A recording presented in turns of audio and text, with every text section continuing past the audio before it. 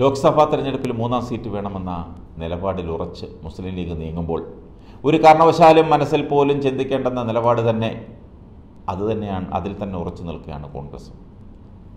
ഇക്കാര്യത്തിൽ ഒരു വിട്ടുവീഴ്ച വേണ്ടെന്ന് തിരുവനന്തപുരത്ത് ചേർന്ന സംസ്ഥാന ലീഗ് നേതൃത്വം തീരുമാനിച്ചുവെങ്കിലും ആ തീരുമാനം നാലായി മടക്കി പോക്കറ്റിൽ വെച്ചേക്കാനാണ് കോൺഗ്രസ് നേതാക്കൾ പറയുന്നത്.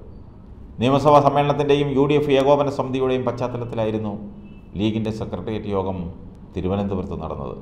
എന്നാൽ സഭാ സമ്മേളനത്തിന്റെ പേരിൽ യു ഡി എഫ് യോഗം മാറ്റിവെച്ചു.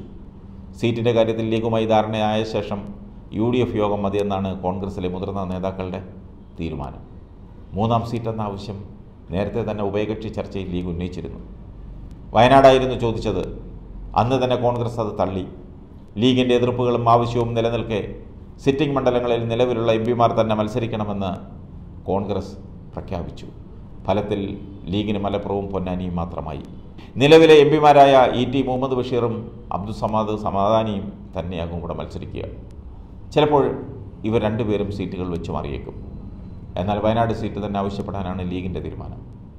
രാഹുൽ ഗാന്ധിക്ക് മറ്റൊരു സുരക്ഷിത സീറ്റ് നൽകട്ടെ എന്നാണ് ലീഗ് പറയുന്നത്. ലീഗിന്റെ അക്കൗണ്ടിൽ രാഹുൽ ഗാന്ധിയുടെ ഭൂരിപക്ഷം കൂട്ടിയെഴുതേണ്ടെന്നാണ് അവരുടെ തീരുമാനം.